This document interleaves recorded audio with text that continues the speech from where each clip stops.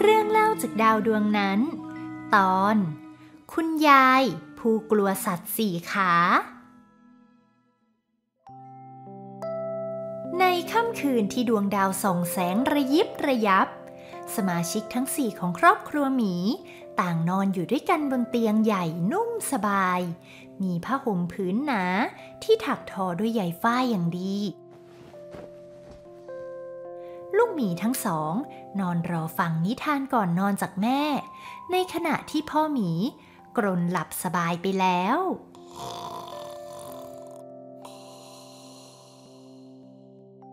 ตอนเด็กๆ แม่กลัวอะไรบ้างไหมครับ แม่น่ะเหรอ อืม สมัยแม่เด็กๆ แม่กลัวเสียงฟ้าร้อง แต่ตอนนี้เวลาฝนตก ก็ไม่เห็นแม่กลัวเลยนี่ครับ ก็เพราะว่าแม่โตแล้วไง งั้นหมายความว่า ถ้าเราโตแล้ว เราก็จะไม่กลัวอะไรเลยเหรอครับ อยากโตไวๆจัง แต่ผู้ใหญ่ก็ยังมีความกลัวอยู่นะหรอครับ ทั้งๆทที่ผู้ใหญ่ก็ตัวใหญ่ แข็งแรงแล้วเนี่ยนะ มา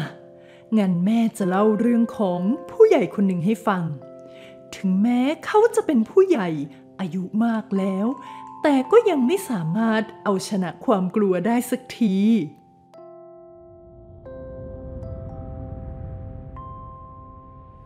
การละครั้งหนึ่ง หวนกลับไปยังดาวทะเลทรายอันไกลโพ้น ณ เวลาที่ผู้คนก็ยังอดอดอยากอยากๆมีชีวิตอยู่บนเกวียน เร่ร่อนไปมา ในมุมหนึ่งของซอกเขาที่ดูน่าจะปลอดภัยและสงบจากพายุ มีบ้านหลังหนึ่ง ถูกก่อด้วยอิฐมอน ซ่อนอยู่ในหลืบเล็ก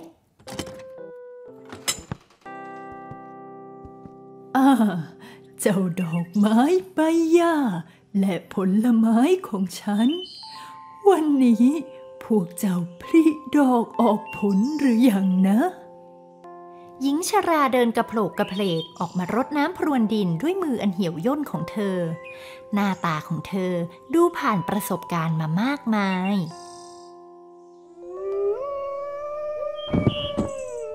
ไม่ไม่เจ้าพวกหมาตัวร้าย ฉันไม่อยากฟังเสียงของพวกแกเลย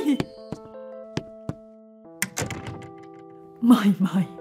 ฉันไม่กลัวพวกมัน มันอยู่ไกล ฉันไม่กลัว ไม่มีทาง ไม่มีทางที่มันจะหาที่นี่เจอ คุณยายค่อยๆ รวบรวมสติอีกครั้ง และนี่คือสาเหตุที่ทำให้เธอมาสร้างบ้านในที่ลับตา และไม่เดินทางเร่ร่อนเหมือนผู้อื่นบนดาวทะเลทราย เพราะเธอนั้น กลัวสิ่งมีชีวิตสี่ขามีขน ที่เราเรียกว่า สุนัขหรือหมาเอามากๆ จนเธอไม่กล้าออกไปไหน พอเธอนึกหวนไปถึงอดีตอันแสนขมขื่นในวัยเด็กทีไร ก็จำต้องขนลุกทุกที ตอนนั้นเธออยู่บนเกวียนของพ่อแม่ แล้วสุนัขวิ่งไล่ตาม เพื่อแย่งเสบียงอาหารจากเกวียนของเธอ จนเธอถูกกัด ขาเดินไม่ถนัดมาจนถึงทุกวันนี้ โอ้ นั่นแช่ นั่นหลานแช่ของยายใช่ไหม คุณยายได้ยินเสียงเดินของหลานสาวมาแต่ไกล แต่ เอ๊ะ นั่นเสียงอะไร แช่ หลานไม่ได้มาคนเดียวเหรอ แปลก แปลกมาก สิ่งที่คุณยายคิดนั้นถูกต้อง และนี่อาจจะเป็นฝันร้ายของคุณยาย เพราะสิ่งที่แชร์พามานั้น คือหมานั่นมันหมานี่แช่หลานอย่าเอามาใกล้ยายยายนะ่ะกลัวพวกมัน อย่าเอามันเข้ามาใกล้บ้านเด็ดขาด แต่เจ้าหมาตัวนี้ มันไม่ดุร้ายนะคะยาย หลานจะไปรู้อะไร พวกสัตว์หน้าขนอย่างหมาตัวนี้ มันร้ายจะตายไป มันทำร้ายเราได้นะ ยายคะ ถ้าเราให้อาหารมัน หมาก็ช่วยเราเฝ้าบ้าน เป็นเพื่อนที่ดีให้กับเราได้นะคะ ยายไม่จำเป็นต้องมีเพื่อนหรอก อยู่ตรงนี้คนเดียว ยายก็สบายใจดี งั้นหนู ผูกมันไว้ที่หน้าบ้านได้ไหมคะ ไม่ได้ หลานไปเอามาจากไหน รู้ไหมว่ามันจะเป็นภาระนะ ก็เจ้าลูกหมาตัวนี้ มันกำลังจะอดน้ำตายอยู่กลางทะเลทราย หนูเลยช่วยมันไว้ค่ะ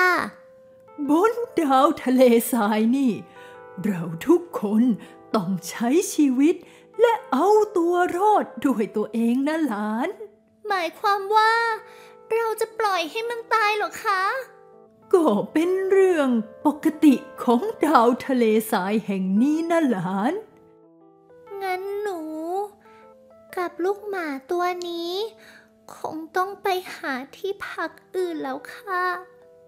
ด้วยความคิดถึงและเป็นห่วงหลานสาวที่ไม่เจอกันนาน คุณยายครุ่นคิดว่าควรทำอย่างไร เพราะหลานสาวก็คงไม่ยอมทิ้งลูกหมา ให้ไปเผชิญชะตากรรมที่โหดร้ายของดาวทะเลทรายแน่ๆ แต่ตัวคุณยายเองก็ไม่ได้อยากสนิทใกล้ชิดกับเจ้าสัตว์สี่ขาหน้าขนตัวนี้สักเท่าไหร่ งั้นหลานเอามันไปผูกไว้ที่คอกสัตว์ตรงนู้นละกัน แล้วก็ให้น้ำให้อาหารมันเองล่ะ ยายจะไม่ยุ่งกับมัน และอย่าให้มันมายุ่งกับยายนะ ได้ค่ะ หนูจะทำตามที่คุณยายบอกเลยค่ะ ถึงแม้จะผ่าเข้าบ้านไม่ได้ แต่แชร์ก็ต้องยอม เพราะถ้าขืนเธอปล่อยเจ้าลูกหมา กลับไปเผชิญชะตาชีวิตในทะเลทรายแสนเวิงวางแล้วก็ หน้าอ่อนๆของเจ้าลูกหมา คงถูกพัดปลิวไปกับพายุทรายแน่นอน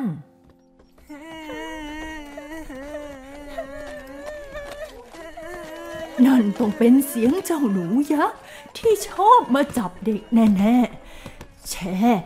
หลานอย่าออกไปข้างนอกนั่นนะ มันอันตราย หนูคิดวิธีจัดการกับเจ้าหนูยักษ์ได้แล้วล่ะค่ะ ยายรอหนูอยู่ที่นี่นะคะ เดี๋ยวหนูกลับมาค่ะ ไม่ต้องห่วงนะคะ ฝากเจ้าลูกหมาด้วยนะคะยาย แช่ แช่ อย่าไปเลยลูก มันอันตรายนะ แช่คุณยายวิ่งขากระเพลกไปยังประตูที่เปิดอยู่ พยายามตะโกนห้ามหลานสาว แต่ก็ไม่เป็นผล อย่างนี้ทุกทีเลยหลานยาย ช่วยเหลือเขาไปทั่ว ห้ามไม่เคยฟัง ขออย่าให้หลานฉันเป็นอะไรเลย ท่าทางวันนี้จะเหลือเพียงคุณยายที่เดียวดายอยู่ในบ้าน และเจ้าลูกหมาขี้อ้อนที่ยังคงอยู่ที่คอกนอกบ้าน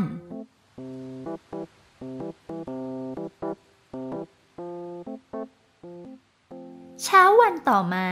คุณยายและเจ้าลูกหมาเหมือนนัดกัน ทั้งคู่ต่างนั่งเฝ้ารอแชร์ แต่เธอก็ยังไม่กลับมา เมื่อเจ้าหมาเห็นยายเดินออกมานั่งหน้าบ้าน มันจึงเห่าทักทาย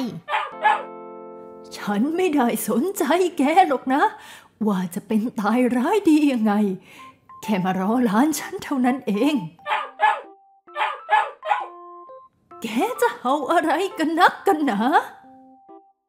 ลูกหมาเดินวนรอบชามน้ำดื่ม เป็นสัญญาณบ่งบอกว่า น้ำดื่มของมันหมดแล้ว คุณยายยืนคิดอยู่นานสองนาน เธอจึงตัดสินใจ หยิบบัวรดน้ำที่มีน้ำอยู่ เดินเข้าไปใกล้ และเติมน้ำให้เจ้าหมาอย่างห่างๆ นี่เพราะฉันเห็นแกหลานสาวหรอกนะ ถึงเติมน้ำให้แกนะไม่งั้นแกได้อดตายไปแล้ว เข้าสู่วันที่สามที่คุณยายอยู่กับเจ้าหมา ทั้งสองต่างเฝ้ารอการกลับมาของแชร์คุณยายเดินมาเติมน้ำให้มันเหมือนเมื่อวาน แต่วันนี้ลูกหมากลับดูหงอยยิ่งกว่าเดิม มันไม่เดินเข้ามาหาคุณยายเลย แกเริ่มสำนึกแล้วสินะ เพราะสัตว์หน้าขนอย่างพวกแกเนี่ย มันดุร้าย ควรอยู่ห่างจากมนุษย์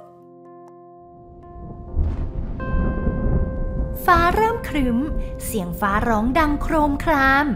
แน่นอนว่าไม่มีใครอยากจะเจอฝนตกบนดาวทะเลทรายนี้ เพราะความหนาวเย็นเยือกที่กำลังจะก่อตัวหลังจากนั้น มันช่างทรมาน โอ้ ฝนกำลังจะมาแล้วสินะ ฉันต้องรีบเข้าบ้าน ฉันต้องรีบเข้าบ้าน คุณยายปรีเข้าบ้านอันปลอดภัยและแสนอบอุ่น เหลือแต่เจ้าลูกหมาที่ยังคงอยู่ที่เดิม และมีเพียงที่หลบฝนเล็กๆ เท่านั้น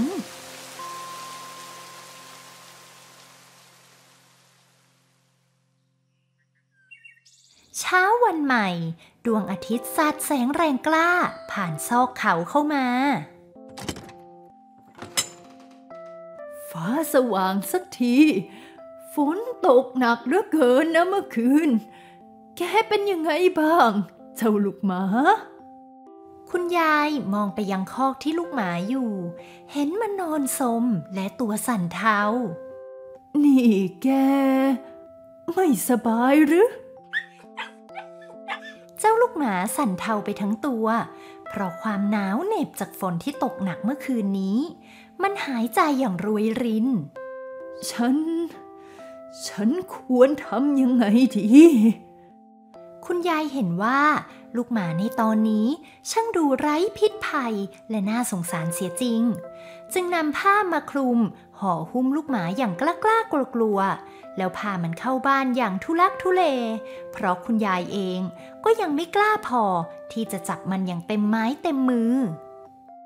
ฉันจะวางแกไว้ตรงนี้ ที่หน้าเตาผิง เพื่อแกจะได้ดีขึ้นบ้าง คุณยายวางลูกหมาลงที่เตาผิง และเดินง่วนเข้าไปในครัว เพื่อหาอะไรบางอย่าง ฉันเจอแล้ว นี่สมุนไพร และยาคล้ายวัด ถ้าแกกินพวกนี้เข้าไป อาจจะดีขึ้นนะ คุณยายเอาย่ามาวางไว้ให้ลูกหมา แต่มันก็ไม่กิน แกคงจะกินไม่ได้สินะ คุณยายนำย่าสมุนไพรไปบด และนำมาวางให้กับลูกหมา ฉันน่ะไม่อยากให้แกตายหรอกนะ ฉันเห็นแกแชร์ฉันน่ะเป็นห่วงหลานฉันมาก แล้วถ้าแชร์กลับมาเห็นว่าแกเป็นอะไรไป คงจะเสียใจมากๆ คุณยายเริ่มเอายาป้อนให้ลูกหมา มันครางหงิงหงิง จากนั้นก็หลับไป ตอนนี้คุณยายเริ่มเปิดใจขึ้นมาบ้างแล้ว จึงลูบหัวลูกหมาเพื่อปลอบประโลม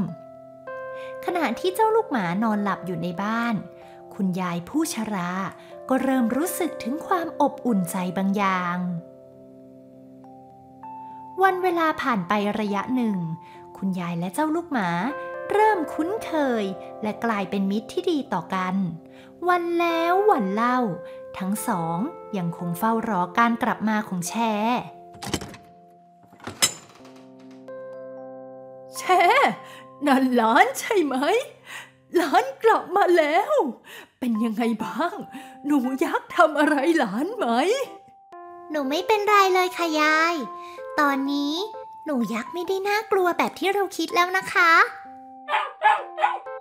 แช่หันไปตามเสียงเห่า ก็เห็นเจ้าลูกหมา วิ่งดีใจอยู่ในบ้านของคุณยาย โอ้ยายไม่กลัวเจ้าลูกหมาแล้วเหรอคะ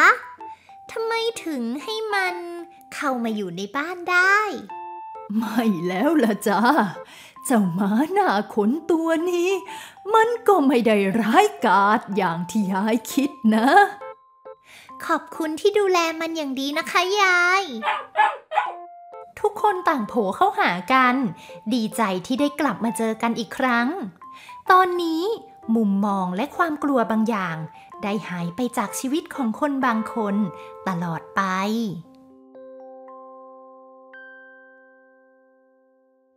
ที่นี้มีใครคิดว่า ความกลัวจะเปลี่ยนไม่ได้อีกไหมนะ ไม่มีเสียงใดตอบกลับมา แม่หมีจึงหันไปมอง ลูกทั้งสองของเธอ อมยิ้มหลับปุ๋ย เธอยิ้มและดึงผ้าห่มมาห่มคลุมให้ลูกทั้งสองของเธอ สักวัน ลูกจะเติบโตเผชิญกับอะไรอีกมากมาย รวมทั้งความกลัวต่างๆด้วย แต่ถ้าลูกๆรู้จักเปลี่ยนมุมมองให้เป็น ความกลัวนั้นจะหายไปได้ในวันหนึ่ง เธอปิดไฟ และหันไปมองยังท้องฟ้า เธอเห็นดาวที่สุกใส สว่างอยู่บนฟ้า เคลื่อนที่ไปมา เหมือนท้องฟ้าเป็นถนนอันแสนกว้างใหญ่ ที่ดวงดาวมากมาย ต่างโคจรไปมาหาสู่กัน